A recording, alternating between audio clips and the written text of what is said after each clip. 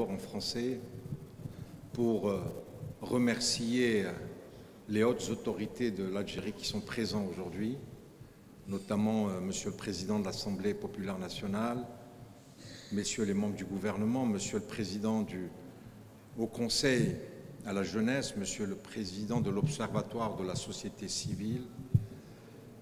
Je suis à la fois ému, heureux et honoré.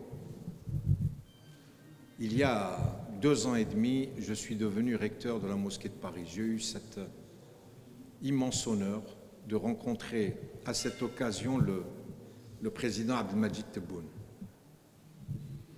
Et il m'a parlé d'abord et avant tout de notre jeunesse à l'étranger, du lien qu'il fallait établir, ce lien fort, ce lien qui pouvait permettre à la communauté nationale à l'étranger de garder ce contact, d'être fier d'être algérien. Tout à l'heure, Monsieur le ministre des Affaires religieuses disait qu'à chaque occasion sur les Champs-Élysées, le drapeau algérien flottait avec fierté.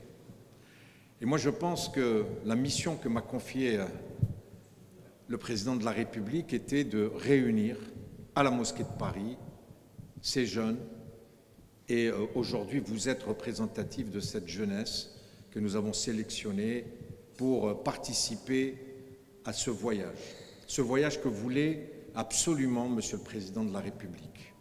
Vous avez aujourd'hui dans cette salle de nombreux ministres qui sont et qui seront vos interlocuteurs pour l'avenir, pour vos projets, pour vos ambitions ici en Algérie, parce que même si vous êtes en France, même si nous sommes tous, pour la plupart de nationalité française, on nous appelle les binationaux, mais lorsque nous sommes ici en Algérie, nous sommes Algériens comme les autres.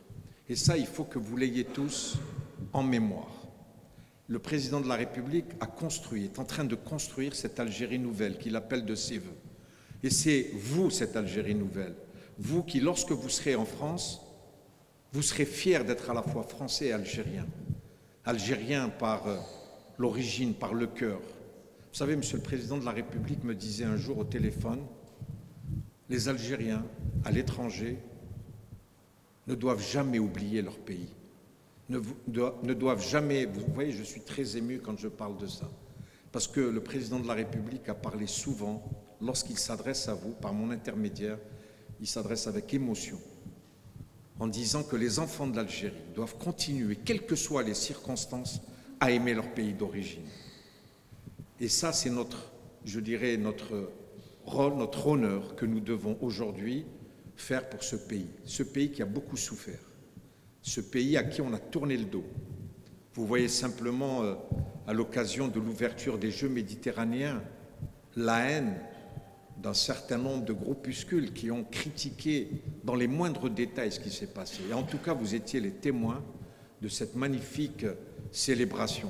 Enfin, l'Algérie ressort sur la scène internationale. C'est par votre intermédiaire qu'on pourra le faire. Et aujourd'hui, historiquement, moi je considère que cette soirée, elle est historique parce qu'elle est le début d'une belle aventure, d'une aventure dans laquelle vous, Algériens de l'étranger, vous allez jouer un rôle important et une place prépondérante.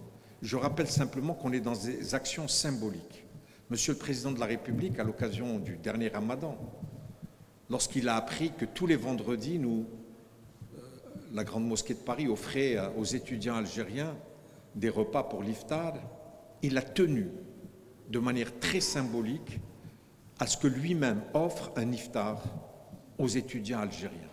Il m'a demandé également, à l'occasion de l'Aïd al-Fitr, de réunir les jeunes qui, pour la plupart, n'ont pas pu rentrer en Algérie du fait du Covid, à se retrouver à la mosquée de Paris. Et moi, je leur ai fait un discours dans lequel je leur ai dit, ici, à la Grande Mosquée de Paris, vous êtes chez vous, c'est votre maison, et, vous êtes aujourd'hui sous la protection du président de la République, Al-Majid Tebboune. N'oublions pas cela, soyons, euh, je dirais, à la hauteur des engagements que veut prendre le président de la République. Alors en dehors des ministres, en dehors de Monsieur le Président de l'Assemblée nationale, Il y a aujourd'hui un conseiller qui est présent, M. Kemal Sidi que je tiens à remercier parce que M. le Président de la République lui a demandé personnellement de venir en son nom assister à ce dîner. Vous ne pouvez pas vous imaginer que le ministre des Affaires étrangères qui est là aujourd'hui avec nous, qui est toujours entre deux avions du fait de ses fonctions, qui était encore pas plus tard qu'hier à Oran, et on a vu euh, l'activité intense, il a voulu assister à ce dîner. Et donc c'est la preuve de l'intérêt que l'Algérie, que les plus hautes autorités de ce pays vous accordent. Voilà donc euh, ce que je voulais dire, c'était un peu pêle-mêle. Je suis, euh, comme je vous disais, sous le coup de l'émotion et je terminerai par One, two, three, vive l'Algérie.